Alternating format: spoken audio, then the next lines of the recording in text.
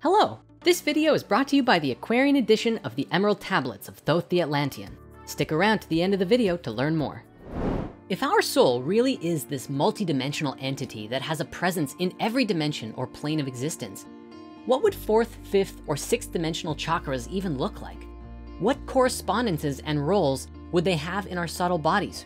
Or even more simply, do we even have super higher dimensional chakras at all? Different systems refer to these higher scale chakras as different things, but one of the most simple versions is that they're called the outer chakras.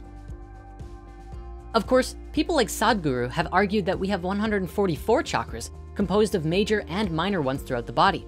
However, we should remember that while we can speak in terms of lower and higher chakras, such language is often too easily misunderstood. It is like comparing the foundation of a building to a roof.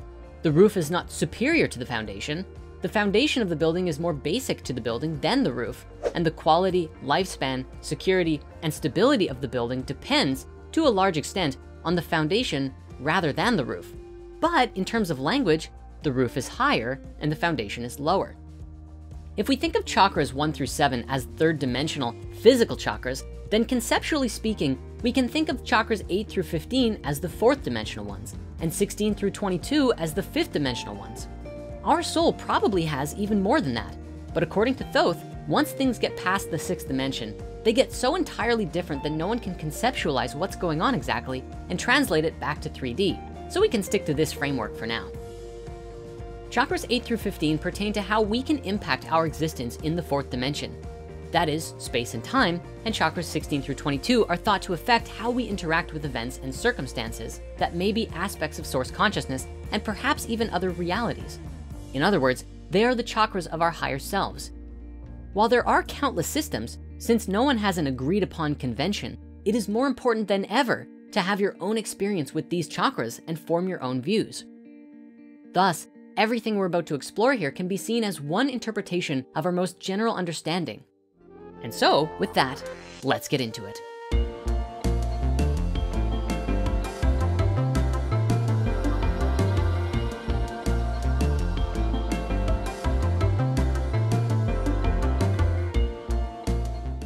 As we touched on previously, thinking of each chakra as a set of octaves arguably means that chakra eight, located above the crown, is the root chakra of the next dimension and our astral body. It is often referred to by many different names, such as the higher heart or seat of the soul. But in shamanic practice, it is called the soul star, which we think is just a fabulous name.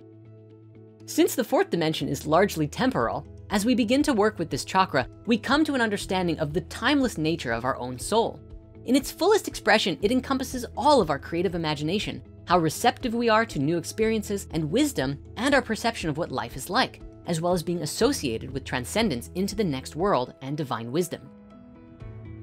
Color-wise, the soul star chakra is thought to be a kind of turquoise, although it's fair to say that the true colors of these may be outside of the color spectrum that we can easily comprehend at this point.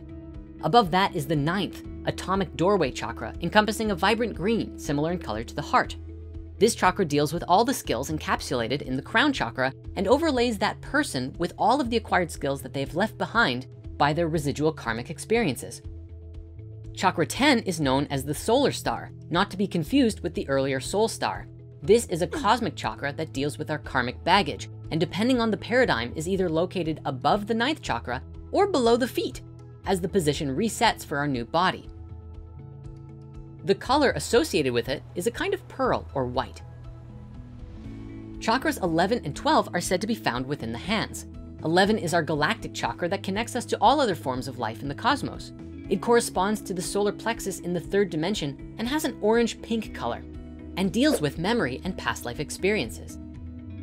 Chakra 12 is the earth chakra that deals with detachment to the third dimension and our ability to act as independent observers of our reality and shines a brilliant gold. Chakra 13 is known as the mother or Gaia chakra and connects us to the Christ consciousness grid of the planet. It shines a pink violet and has a very natural feel to it. Supposedly, it is located outside of the body about an arm's length in front of it. It deals with the unconditional love and joy that our mother can give us if we are open to receiving it.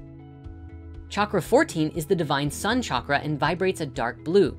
When chakra 14 activates, we can see the connections and understand their synchronicity and truly become aware of the divine plan. similar to the third eye chakra, but on a much grander scale. Chakra 15 is the final chakra of the fourth dimension and corresponds to the crown and is the counterpart to our earth mother chakra, embodying our divine father. It is at this point that we start to lose connection to our physical sense of being all together. We become something outside of ourselves, something part of a much larger reality. As such, it shines a warm yet powerful white gold color. Moving into the fifth dimension, these are the chakras belonging to our light body, our higher self that emits pure light. Diana Cooper explored these higher chakras in a book called A New Light on Ascension. The 16th chakra root is the base of this system and is related to divine wisdom and flow, shining a bright platinum color. It is a chakra of ascension into the higher realms. Chakra 17 shines a kind of magenta and embodies the truest form of the divine feminine and deals with our complete sense of oneness with the entire universe. In a way, it unites the learning of the chakras in the fourth dimension and brings about an ability to sense everything that ever was and that which is yet to come. Chakra 18 mirrors chakras 11 and 12 from earlier and deals with our interaction with our galactic self. It is what allows us to channel information from the Ascended Masters back to our reality, crossing all kinds of boundaries. In true enlightened fashion, it shines a brilliant gold color. Chakra 15 is the fifth dimensional heart center and aligns us with the cosmic heart. In this chakra, we become connected to the universal Christ consciousness, far beyond just earth.